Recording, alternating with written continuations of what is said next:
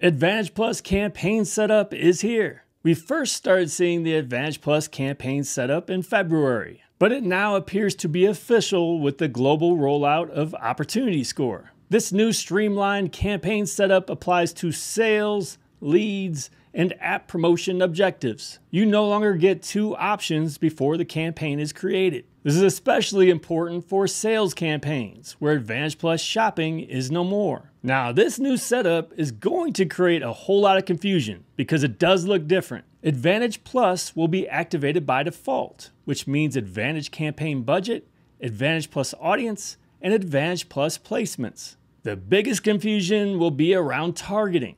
Gone is terminology like original audiences, Advantage Custom Audience, Advantage Lookalike, and Advantage Detailed Targeting. The terms are gone, but the functionality remains the same. Have no fear, this change is a good one. Read my guide on Advantage Plus campaign setup for details. Go to jonloomer.com slash setup.